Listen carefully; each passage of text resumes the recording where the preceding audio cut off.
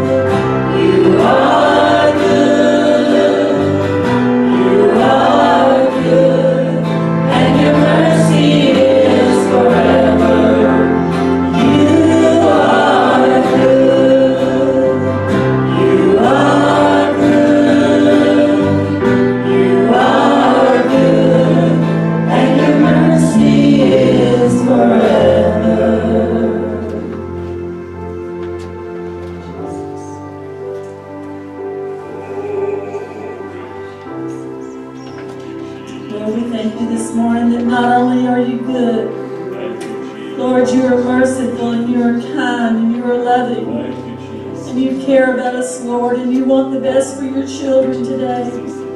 We praise you, God, that you're good to us, Lord. You are good today, Father.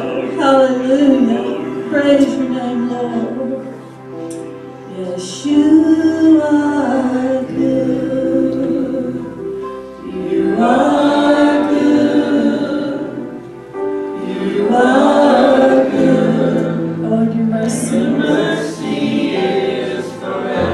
your good, Lord.